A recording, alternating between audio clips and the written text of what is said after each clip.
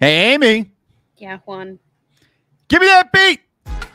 It's Baseball Shangri La with Amie Cuevas and Juan Ramirez.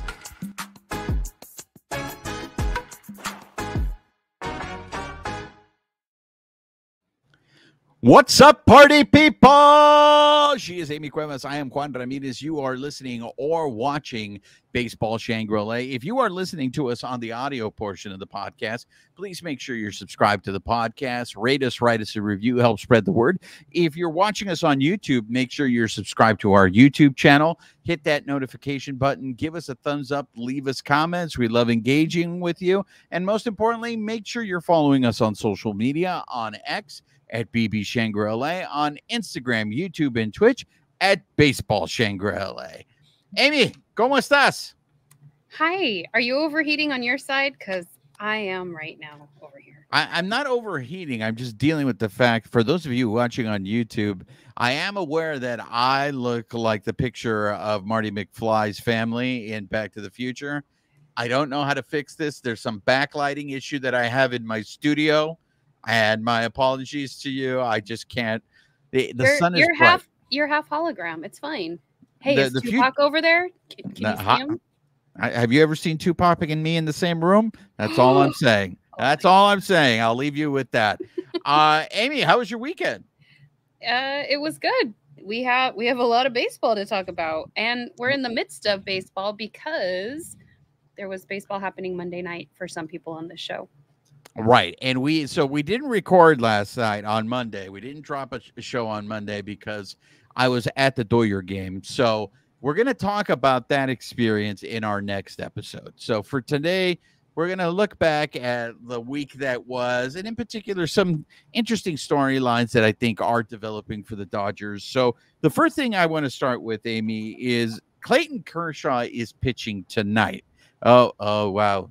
It's a that happened what two weeks ago? Uh, yeah, but I'm foreshadowing what's going to come up later in this episode. We we may or may not be talking about Kiké Hernández. So you know, I brought his bobblehead just in case.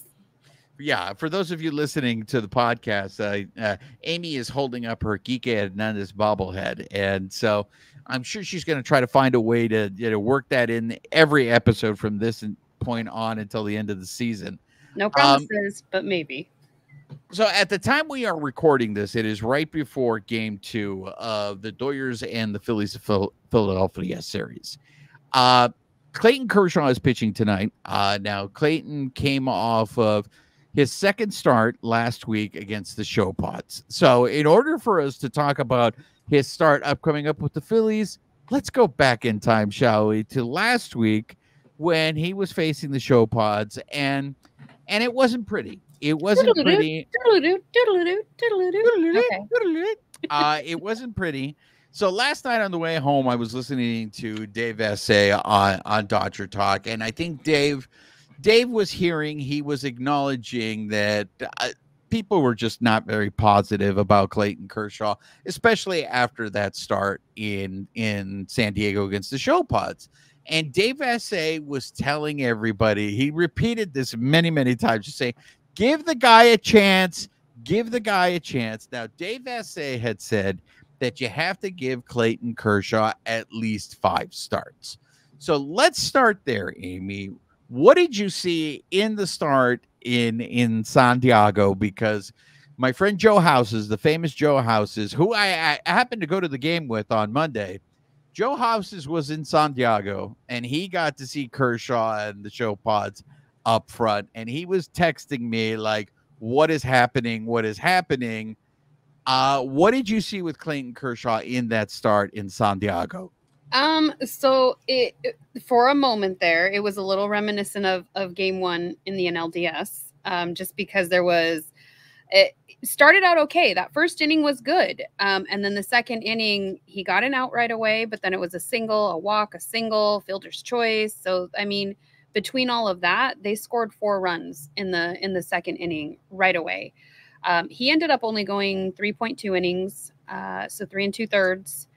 And uh, one of the stats that came out of it, this was his 423rd regular season start. And he had a streak going where he had at least one strikeout in every game. And that ended with this this previous game against the Padres because he got no strikeouts, um, and he's had the longest streak since 1893. So I feel bad for him, and I I agree with Dave Vassegh because the what I was thinking when when he got pulled was like people are gonna potentially turn on him. This is only his second start, like he he's gonna need some time before they can they can gauge whether he's able to go down the long haul. You know, before we go on to that, can we just acknowledge how uh, the numbers that you just threw out, how ridiculous that really is? 423 what, games. Not only that, but it's since the 1800s. So, mm-hmm. like, two no centuries. One... now, I'm curious in the 1800s, did someone have a streak longer than him? I think that's when they started um, measuring it. And I think um, there was another pitcher, and then I think it was Nolan Ryan was the stat as far as like who had the the longest. I'd, I'd have to look up. So do it. we know if Kershaw had the longest or is he, he didn't. No, he up? did. He had so the longest. Kershaw, that that is ridiculous, and I mean that is just another thing that you can just add to his his resume. But mm-hmm. in terms of performance, I'm going to be honest with you, Amie. What we saw against the show pods is what I expected his first time out, but I think it's the difference between the Gigantes and the Show Pods. The Show Pods are ranked at one of the top teams. Eh, they're either second. Last time I checked this, it was the Royals of Kansas City that were the top team that had the least amount of strikeouts. That means those teams, they're contact. They make contact, they make contact.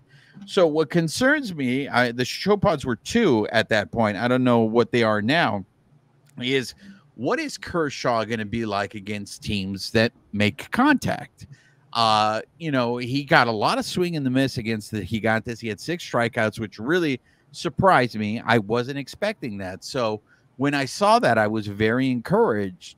But then when he went against the show pods and he didn't strike anyone out and they and they were making contact on him, that was one of those things that for me, Amie, I, like I had no problem with seeing him pitch in the regular season. But I said this at the beginning of the season. If Kershaw pitches in the postseason, I I'm very concerned about the Dodgers rotation just because everything that you just said, he is still coming he's coming off of injury. I don't know if he's 100% healthy. He came back ahead of schedule. Everybody mm-hmm. expected him not to come back until like the middle of August or in August, and he was already back in the middle of July. So, uh, you know, all major leaguers say it takes time to get acclimated. So, who knows how long it's going to take? Here is my thing, and this is what I'm looking forward to, to tonight when he pitches against the Phillies of Philadelphia if he gets if it's another outing like it is against the show pods uh, look what are you going to do i mean those are two playoff teams right now. The he's, he's got to find his he's got to find his footing though. I agree. Once the postseason gets here those are going to be closer games and you can't be giving up runs like that when typically in a playoff game it's not going to be a blowout. It's going to be decided between one or two runs. So that will need to be cleaned up. You're you're i agree with you 100% on that but it's only his second start. So c- carry on, carry on.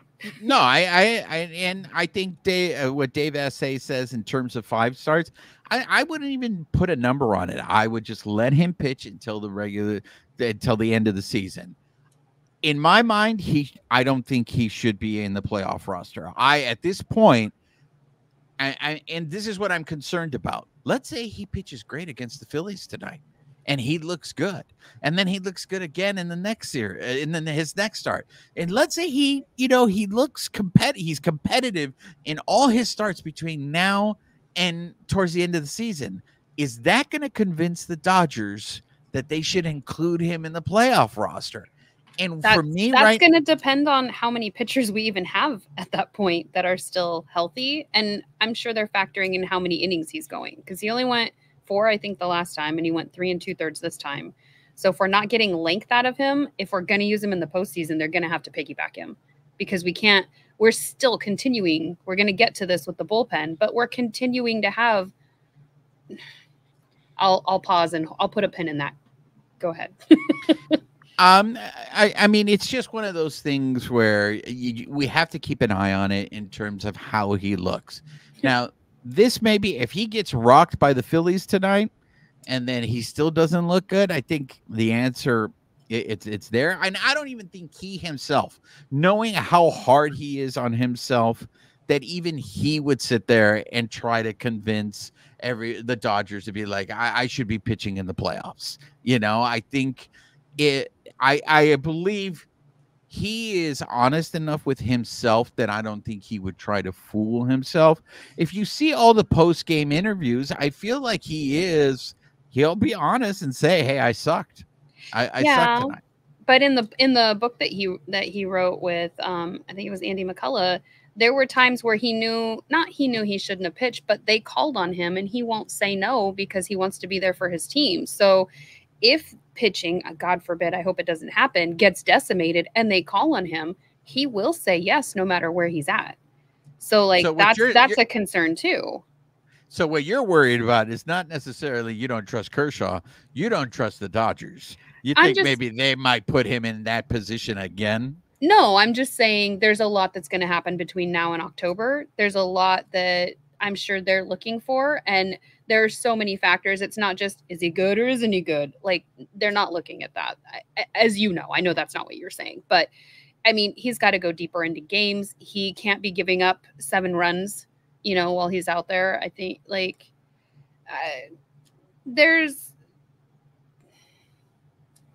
it's only a second start i guess is is kind of where i come back to when i'm No, looking at all of eh, eh, this. And and i think you're right with with dave vassegh saying that he's really good about kind of balancing some of those critiques against the team because much like how i kind of look at it it's like okay there you can shoulda woulda coulda all you want. You can care about this team all you want but at the end of the day this is your team. Do you love it or do you just want to complain about it? Because if that's the case then then what are we we we're talking about two different things. Um, I did find the stat though, and it said so it was 423 regular season starts with at least one strikeout, um, and that was the longest since the mound was moved to its current distance in 1893. So it was Wow. because the mound was moved. Um, and Kershaw led that list with 423. Tom Seaver had 411, and Nolan Ryan had 382 games um, before they didn't have a strike. I mean, there's two months left in the season. For me, it's there's there's just a lot of question marks. And yes, I agree that two starts is not enough. And like I said, I don't even know if five is an accurate number. My question marks are this, and that is he's older, he's coming off of an injury. I have questions about his stamina. You know, once he gets into the playoffs, the intensity is ratcheted up. You know, is will his body betray him again? And you know, because the velocity is not there, but if there is anybody, and he's shown it before, that he can find ways to pitch, I I just I would myself would feel more confident. I know that those rookies, Wrobleski and Ryan, are they're they're rookies, but the thing that they have, and it and it balances out because obviously Kershaw has the experience; he's been there before. But the guys like Wrobleski and Ryan also have velocity on their side, where it sometimes all it takes is, here, I'm just going to throw it as hard as I can and and see if you can beat me. But you're right; there is still a lot of time left. I know there was an update on Yamamoto. Do you want to give the update on Yamamoto, or do you not have it? Um, I don't have it in front of me. Go ahead. Okay, so he did throw a bullpen session today.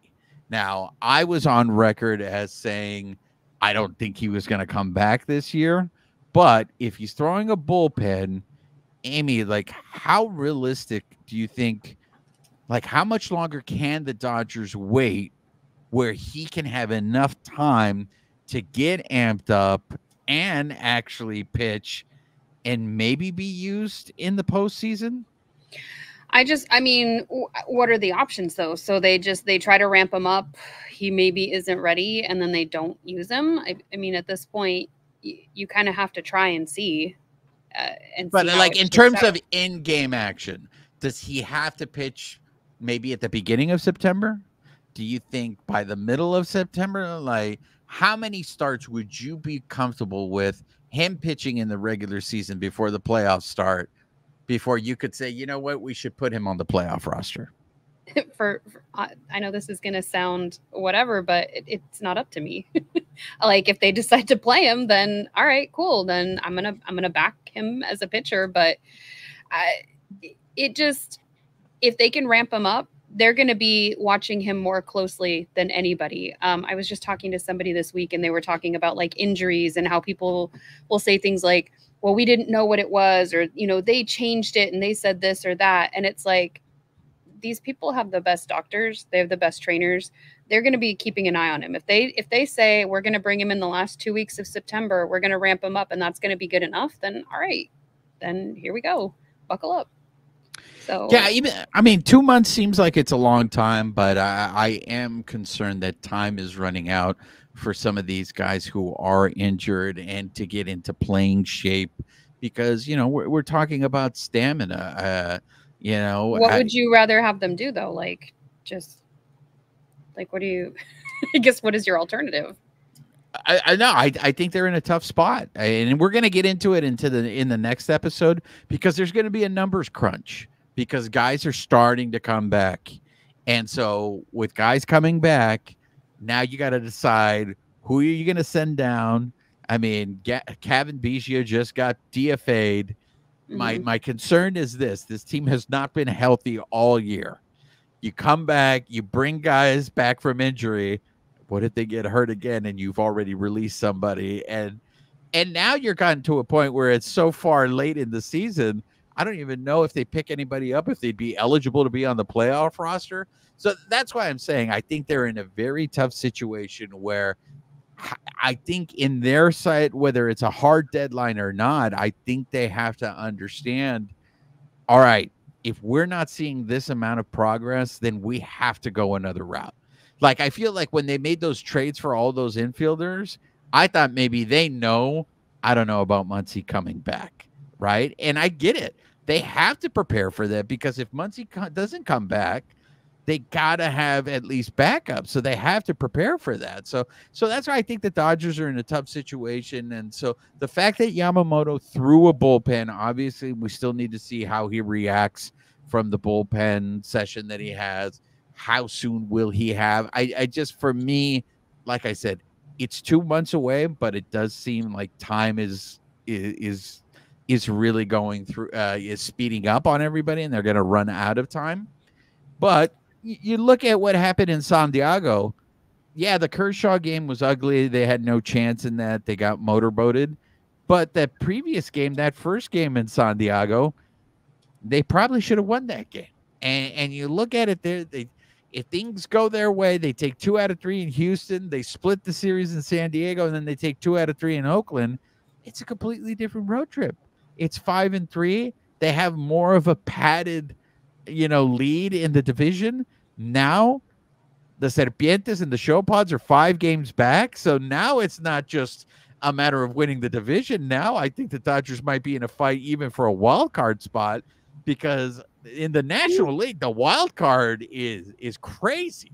I mean, we're not there yet. I think we don't we don't need to full on panic yet. We're still four and a half games up. I mean, uh, or five games above Arizona and San Diego. We we knew that this was a, a, challenge, especially with all the injuries going into it. So the fact that we're still leading the the National League West, I think is like they're doing the best that they can. I think for me, like when I'm looking at these, I'm t- I'm taking the positives from the game. Like Glasnow went seven innings. That's the first start with seven or more innings pitched since Stone did that that complete game, that nine innings in in May at the end of May that was 26 games ago. So um, I think it was Eric Stephen who put up some stats as far as like breaking the season into thirds. So the first 54 games, um, they had 25 qualified starts. The second half, out of the next 54 games, they had 13 qualified starts. So that is, it's trending the way we've already been seeing it. So these guys are not going deep into games. We need the bullpen to be able to get some rest and not have to be on every night. Some of these guys are pitching back to back days. Um, but we did get to see Kopech also um, in his first game. He debuted as a Dodger on on Wednesday in that game. He came in after Kershaw and um, did a pretty good job. He he struck out the side. Like great job, guy. he was and he was throwing. I think they recorded it was 99.7, 99.2, and 100.6 miles per hour in each of those.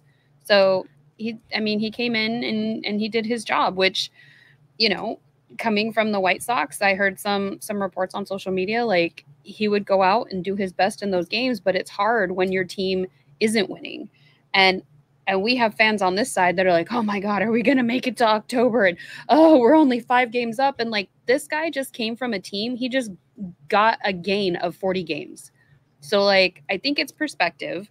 It's, you know, if we get in on a wild card, it's not, you know, obviously that's not the way we want to go, but we've done it, you know, at least one time in the last 11 years. It's it's making it there. It's the it doesn't matter if I get straight A's in high school and somebody kind of skates by on C's, we're both going to get into college at some point or we're both going to go to community college. Nobody checks your grades. Like it's, you know, if you win a series, you lose a series, it's not great. It's not a good feeling, but at the end of the day, they're they're trying to win the season to make it to the to the end. So I think it's just perspective. Kopech has looked good uh, since the Dodgers acquired him, and he does throw hard. I got asked a lot of questions in that game that he pitched in San Diego as to why didn't they use him to close out the game, the first game in San Diego, the one where Blake Treinen gave up two brutal home runs, and then the show pods came back to to, to win that game. Uh, to me, my answer to that is Kopech had just joined the team. I, I hear this many times. Managers look for soft landings whenever they acquire a new player to get them acclimated. I think that's the reason why Kopech was not used in that game on Tuesday. Um, I I also think, look, right now the Dodgers don't have a closer, so they're they're playing matchups. I thought for sure maybe they would use Kopech to close some games in Oakland, and they ended up using Anthony Banda. So mm-hmm. the Dodgers have their own ideas of what they're doing with the bullpen. You mean uh, because it's their team? Yes, it's it's their team. It's not the fans, so they're going to be making the decisions. Uh, Blake Treinen, as a result, got put on uh, the injured list when they activated Brusdar Graterol. So I am curious if that is a real hip issue uh, that that Blake Treinen has, or if it's also just the fact that uh, the stamina thing, where they want to give him some rest, and they can afford to give him some rest because of the guys that are coming back in the bullpen. Because it's a numbers game, and like I said, we're gonna get into it in the next episode. They can't have all of them up. So guys who maybe are showing signs like are those home runs that Treinen gave up in San Diego? Are those because he's tired? because he started off the season great. He was almost unhittable. He had a zero ERA, and he had and and they put him on with left hip discomfort. So I mean, it it could just be wear and tear. These guys, like what was it? I think it was Tuesday's game. There was a stat out that the bullpen had a six um, six and three quarters ERA. Like so, over the last thirteen games, like they're they're gassed and they're still gassed out of the the five games we just played, not I'm not counting in Philly because I don't have the stats for that. Only two games, Flaherty and Glasnow. Flaherty went six innings, Glasnow went seven. Kershaw's three and two thirds. Stone went four innings. River Ryan went four and two thirds. They're not going deep. These guys are getting taxed. We're using anywhere at this point from three to five a night. I think the only exception was Flaherty's game where they two he only had two others come in. He had Kopech and Treinen. Like it's it, some and and I did do some homework. I was poking around during different games. A majority of the teams, they're anywhere from four. Most of them are four to five. Some of them have six. I think I saw a random seven here and there. So it's not just a Dodgers issue. This isn't a cross baseball issue. So it's something that hopefully they'll be looking at in the offseason because if starters cannot go deep, something has to change because it's not fair to your relievers to put this much wear and tear on them it's just it's not okay. It, it is fascinating to me that they are very concerned with the starters' arms, but they don't seem to show that same concern with the bullpen arms. Uh, and I get it; they're they're relief pitchers; they're on a different pay scale than starters. Yeah, but you but can still only have so many on your team. So if I only have X amount of relievers and I've gassed them all, you either need to give each team a bigger allotment of people to carry on their roster, or you've got to change something because it's not healthy for the starters or the relievers at this point. Well, the bullpen looked much better in Oakland. uh, than it did in San Diego. And I know we got to see the debut of Jack Flaherty, and I think it's exactly what the doctor ordered. He went six innings, shutout ball. He worked out of a bases loaded jam. Look, this is the Jack Flaherty that the Dodgers are going to get these next two months and then going into the playoffs. I think that is a very, very. I know we didn't get a chance to talk about the acquisition because it happened after we recorded last week's show. I was very surprised to see what the Dodgers gave up to get Jack Flaherty compared to what other teams gave up. Like the Astros gave up a lot to get Kikuchi out of the Blue Jays. Now, and just for anybody who is is not versed in, in who we gave up, we gave up um, minor league AAA player um, shortstop Trey Sweeney, who we'd gotten from the Yankees earlier in the year, and then we had a Class A catcher, um, Thayron Liranzo. So both of those went over to Detroit. Who was in the top 15? He's a top 15 prospect in the Dodgers system. Now, one of those things is he's blocked.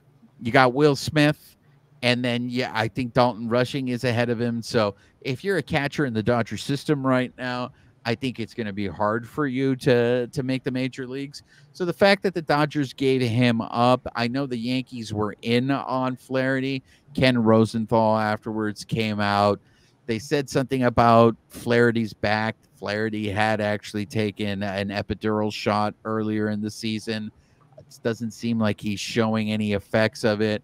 But they I also all... they backpedaled after that too. So yeah, don't and know I'm if curious. that was substantiated because again, like we wear media hats, we also wear fan hats, and you know. But that was coming from Ken Rosenthal. So I wonder if the reason why he backpedaled is because of you said this many times in terms of HIPAA.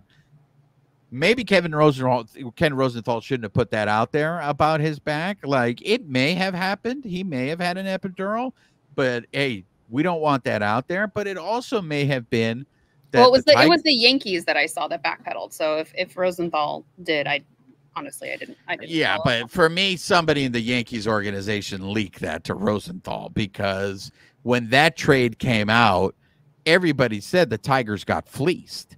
Like, how is it that the Dodgers were able to get him for this amount? Why didn't the Yankees pull through with it? So I, you know, I can't say this for a fact, but it just so happens after all that then Rosenthal leaks that story, and then the Yankees come back and backpedal. Well, and at the end of the day, it doesn't matter. We got him. So yeah. Uh, so Flaherty did go and went ahead and he he looked good. Uh, I get it that it's the Oakland A's, but the Oakland A's were playing well in the second half of the season. They beat uh, us Friday. So like yeah, they they did beat us, and poor Gavin Stone. Just uh, that that's another guy that I'm a little concerned about. That you know he's a rookie. He's never pitched this much before in Major League Baseball. I don't. Did you see the post game interview with uh, with Gavin?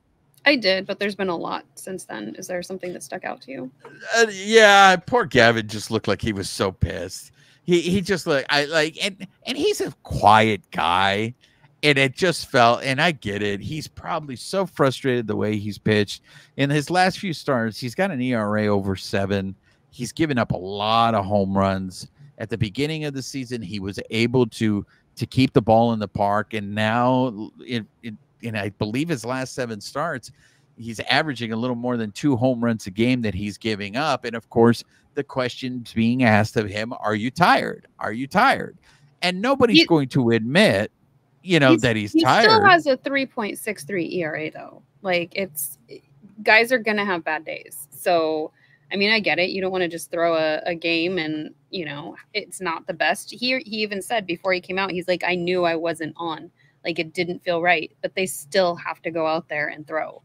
So like he did the best with what he had that day, and you know they're gonna have good days. They're gonna have bad days. He's still got a 3.63 ERA. So he does, um, but like I, I we're gonna and he and he, he may be tired. He, like like you said, this is his first full season. We we used him on and off last year, but we didn't use him like we're using him this year. He's been the one consistent piece, especially now that that Paxton's gone.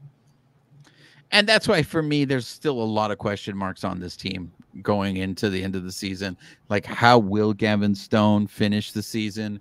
Right now. He is trending. There are signs, you know, and like I said, uh, there's nothing wrong with being tired. You know, he is. Uh, this is his first time he's pitched. I mean, guy. Uh, I mean, a guy who has more cred, an all-star, Tyler Glasnow, has never pitched this amount of innings. You know, and they gave him a break.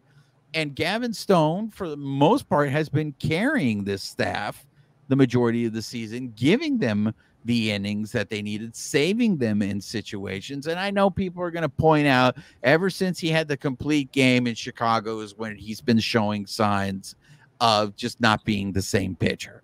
And I don't know if nine innings against the Chicago White Sox is what was the tipping point for him. It also, like I said, has just been this is a career high for him in innings. He, he's never pitched this much. It, could be all of that, but it's like we were talking about um, on last week, at least last week's episode, and it got brought up again on on something else that I was listening to recently. That they're not stretching out high school players, college players, minor leaguers until they get to the big leagues. So when you are a rookie, basically carrying this team, there is going to be wear and tear. It doesn't matter if they've slowly stretched them out to this point; it's still a lot. So there, there's going to be wear on that. Um, there are some high points i think of this too. We had in that in that 10-0 shutout on saturday we got to see the dodgers playing small ball. Like we saw each of them move each other down the line in the top of that ninth inning. Like it was beautiful. And in that shohei stole you know three bases in that game and he's officially hit the the 30 for 30 club. He's one of the people who's i think the stat was he's the third fastest player to hit that. Um, and he's I think actually right as of right now, as of last night's game, he's sitting at 34 and I think 33. I'd have to double check, but yeah, he's on pace to do 40 40, which is a very elite club in, in Major League Baseball. I believe there maybe is it five that there's Canseco, Bonds, um, Alex Rodriguez, Alfonso Soriano, uh, and uh, Acuña.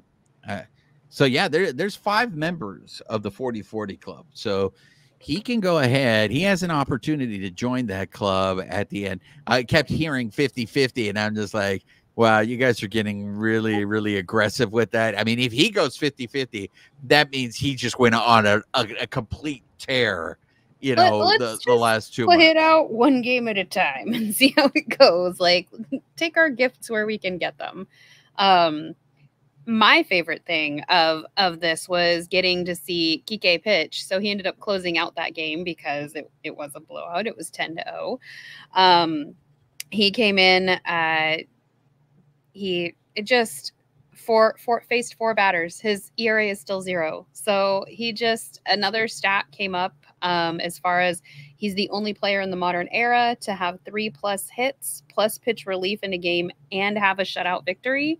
Um, and Jeff Hamilton in 1989 pitched and had the three plus hits, but I guess didn't have the victory. So he, it seems like, you know, there's always a stat in baseball. It's one of the things I love about it. But to have some of these where like he just kind of owns them for right now is, is pretty cool. And we have we have three um, Dodgers pitchers, position players to finish games with the win, and that was uh, Hanser Alberto, uh, eight games in 2022, Russell Martin, three games in 2019, and now we have Kiké with one game in 2024. So great job, Kiké. Yeah. Yeah, this is where I turn the show over to you so you can just continue to celebrate Kiké because he, he had himself a weekend in Oakland. Not only with his pitching performance, he got two outs on two pitches, mm-hmm. uh, uh, but Him offensively are doing great. Uh, offensively, Kiké was actually showing you know signs of life in, in mm-hmm. Oakland. Uh, he did have that interview with Kirsten Watson afterwards, which was just I don't know if you saw it. It was hilarious. Where you know he's coming in talking in the post game as as a closer in the game, but when she asked him about being a two way player, uh, he was just like, Shohei who, and then took off running. And it just very indicative of his character. Like, I love the levity that he brings to the team, but I I think he's one of the underrated players. Like, I love him. I think Rojas is one of those. Will Smith, like some of these guys, like they have heart and they bring it to the field every day. Not that none of the Dodgers are doing that, but it just I think it it just adds to the team. But so I, I mean they took two out of three in Oakland, and then they won the first game of the series against the Phillies of Philadelphia. And not only that, but they beat Aaron Nola, one Mhm. of the Phillies' top pitchers. Uh, I now, didn't realize to he'd be- been in the game so long. They said something during the broadcast, and I'm like, wow, has he really been around that long? yeah, and not only that, but it's like the Phillies are going through it right now. Uh, the Dodgers are technically a half game behind the Phillies for the top spot in the National League. As Now- as one of our listeners, Philip Lopez, likes to hear, um, I think that would be baseball. Well, Would they all go. go through it because they're none of them are going to be perfect all the way through. So Yeah, so I, I mean, uh, let's see how the Dodgers even things out in in the, in the rest of this series. Like, if the Dodgers sweep here, and the Phillies swept them in Philadelphia, and the Dodgers were probably in the same boat going into that series that the Phillies were going into this. I don't know if it's going to say much about both teams if they do end up meeting again in the playoffs, where it's like, well, they both played each other when they weren't playing well. So who are the really who are the real Phillies and who are the real Dodgers? Oh, But I I didn't. do I didn't realize you could schedule baseball like that. So You absolutely can. You absolutely oh can. my So, my bad. Uh, did you see Lux has a ten game hitting streak? Yeah, Gavin Lux has looked, and again, I, I, I think maybe the Dodgers should consider hiring his uncle as a hitting coach because whatever he taught Lux or whatever he did to adjust Lux over the All Star break, I mean, Lux looks like a completely different player, and I know people that watch him play every day are saying you just what you're seeing is confidence. I think he trusts his knee more. And that was him playing a full half of baseball on it and it, it just it took him that long. I actually, um, Mike uh, Petriello wrote an article for MLB.com about um, smaller hit for contact guys who are have are noticeably swinging harder with the new approach over the last weeks, and so they were measuring what these guys did in the first half versus the second half, and they're saying that he shortened up his swing. So Anthony Volpe, Gavin Lux, Jeff McNeil, Victor uh, Robles. Um, it just it was a really interesting article to see that you know it's one of the newer stats they're starting to measure but they could see that there was a marked improvement in what these guys are doing at the plate and even from just a second half turnaround perspective they were saying with Gavin Lux he's hitting 400 he's got eight extra base hits he's got 12 RBIs six home runs so he's hitting 241 um, after this was after Sunday's game, so I don't have the stat prior to, to Monday's game. And even for Kiké, he's he's hitting 300, six extra base hits, eight RBIs, six home runs on the season as well. So like, um, it, whatever these guys are doing, if their bats are waking up, I'm all for it. Did we did we light a candle? Did we did we smoke a cigar to Jobu? Like, what are we doing here? You know what I, I i like you said it could be just baseball it also could be they played the oakland a's that even though the oakland a's have been playing better they're still the oakland a's and and i will say this i, I want to end the show this way uh, i don't know if you heard stephen nelson on sunday uh, in the broadcast did you did you watch the broadcast I I mix in radio with broadcast sometimes. It just depends. Uh, fill me in. He uh he took the Oakland A's owner to task. Oh yes, uh, I did. Yes, I did hear that. he like he he did not hold back. Uh he really laid in and it is it is tragic. It is very sad because you know one of the one of the stories that he told during the broadcast was you know next year they're going to be playing in Sacramento and you've been to that stadium Mhm. uh where they're going to be playing It's and so they they have to do a lot of retrofit to make it major league you know uh, i don't know what the word is Um, it's not major league ready but i guess I to the think it was- standards Butler even said like they didn't. I don't remember if it's not real turf, but like just the way that the Yeah. turf is set up, I think it is not real turf. And he They're was like, wait, he didn't realize, and he didn't realize the weather there, and that the weather in the summer it's like hundred plus degrees. I mean, granted, it's dry heat, not the humidity that we have here or in Oakland, but to be playing in that weather on that field, he he didn't even realize the conditions. So he was a little like, this this is what we're doing. yeah I, again I, the, as much uh, the majority of the blame i think goes to john fisher the owner of the oakland athletics but i i don't think major league baseball looks good in this at all to allow this to happen, to have the players be playing in those kind of conditions. I'm very curious. Not not alone just what the A's are going to look like in terms of injuries next year, but what if visiting teams come in there and players get hurt because they're playing on a subpar field? There's going to be a lot of teams that aren't going to be happy about that. The the capacity is 14,014 people. So 14014 fit in that that park right now, Sutter Health Park in West Sacramento. Like 14,000 people.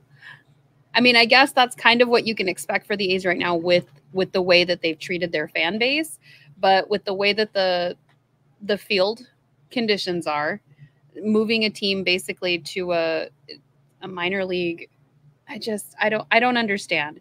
Much like there's a lot going on with the White Sox and the losses that they've suffered lately and people are talking about that across social media. I don't understand with with Oakland and with things like the White Sox, why are we continuing to spread out the luxury tax funds and have no repercussions? And you brought up the the potential for having the TV rights shared in a pool if you could get the bigger market teams to agree to it. And again, we can't even get this right.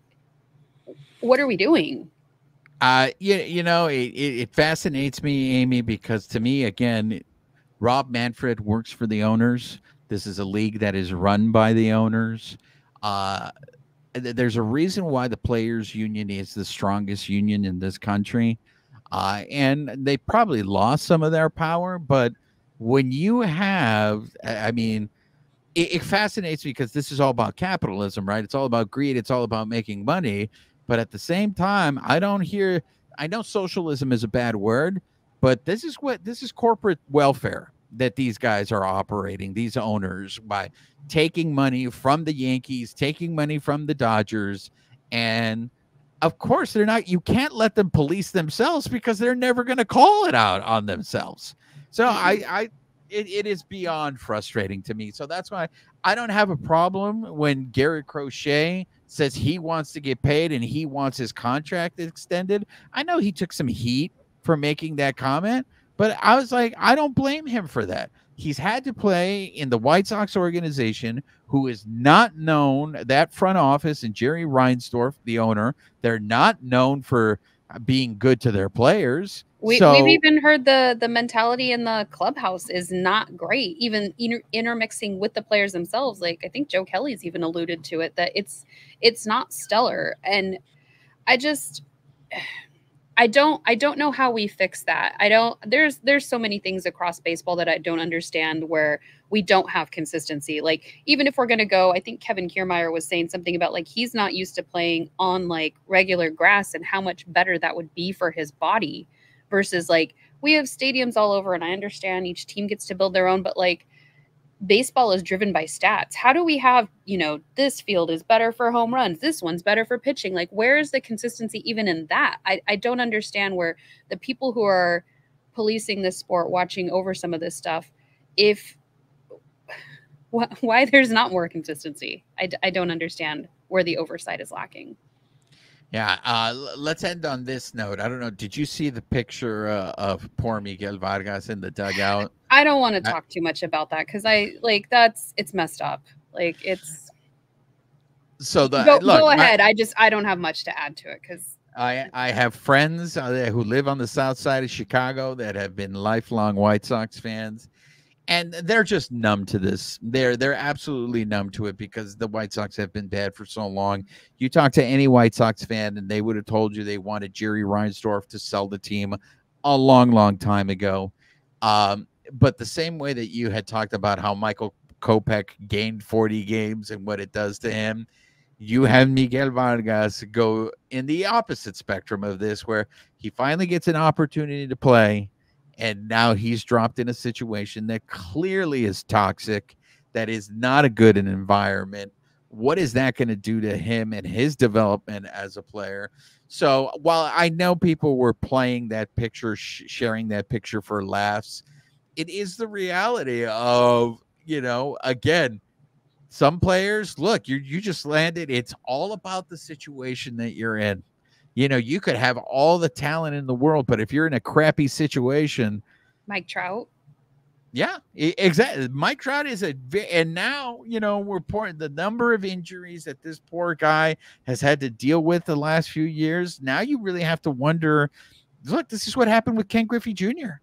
Ken Griffey Jr. started getting injured, and it just completely altered his career. I know there's a lot of people who think if Ken Griffey Jr. would have stayed healthy, he would have been the one with all the records. Well, and I think for me, like the reason I don't want to talk too much about Vargas is he's obviously having a moment, and the fact that it is being shared as kind of a joke online, I think is it's just it's insensitive. He's he's the one who has to live it out, and we know how toxic, or we hear how toxic that whole situation is. Like it's just, I it's unfortunate because people are sharing it for a laugh, and what are we doing to fix it? like i don't don't don't laugh at it if you're not gonna if there's not some way that we can bring light to it and then fix the imbalance across these teams because to me it's not funny that this is this young man's life and i know people will say and people have said it in the comments ah oh, he's just lucky to be in the show like you know i'd give my whatever just to be in it and yeah i'm sure he is very grateful but like you said if it is a toxic environment what does that do to his psyche what does that do to his development his mental health not just because he he lost 40 games, but because of where he ended up from the supportive place that he was at. It's it's not that shouldn't be how we treat these people that trot out on the field every day to play this game for us. Look, I go back to what El Tio Albert Pujols said that when he went to the Dodgers after the Angels released him, that playing for the Dodgers reinvigorated his love for playing baseball. So I, I, can see how going to a situation like the Las Medias Blancas, how that could turn you off and be like, do I even want to do this anymore? Like, well, and, it's, and it's one screen grab that somebody picked to interpret their way to get clicks or whatever. And whether that's what the camera was showing, you don't know if he was just having a down. We don't even know. Maybe he's fine, but people have already brought their own narrative into it. And I just, this is some of the stuff about this sport that to me it's it's not funny. I I don't like smack talking. It's not my thing. We've talked about that before. I don't like stuff like this because we should be celebrating these men who put their their health and their, you know, yes, I get I know they get to play this game, but they are they are ruining their bodies to go out there and like to me this isn't it's not funny. It's not how we should treat them.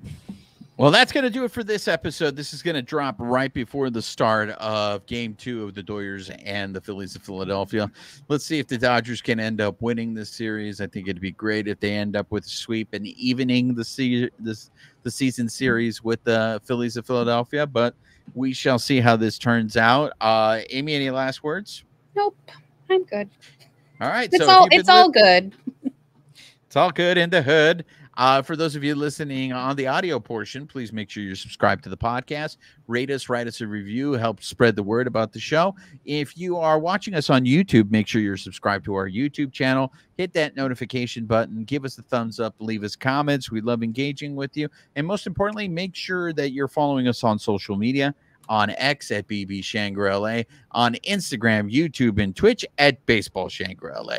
She is Amie Cuevas. I'm Juan Ramirez. Nos despedimos con un beso. Amie, say goodbye to the people. Goodbye, people.